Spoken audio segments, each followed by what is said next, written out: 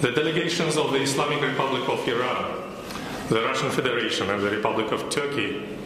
in line with the joint statement of the foreign ministers made in Moscow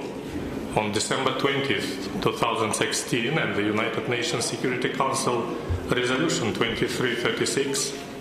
support launching the talks between the government of the Syrian Arab Republic and the armed opposition groups in Astana on January 23rd, 24th, 2017. Decide to establish a trilateral mechanism to observe and ensure full compliance with the ceasefire,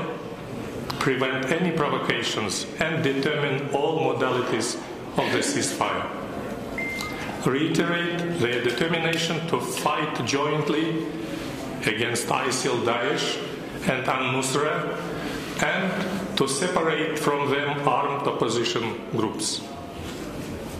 Express their conviction that there is an urgent necessity to step up efforts to jumpstart the negotiation process in accordance with the UN Security Council Resolution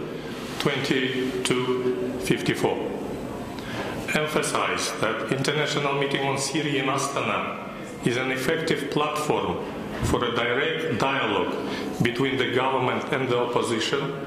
as required by the UN Security Council Resolution 2254. Support the willingness of the armed opposition groups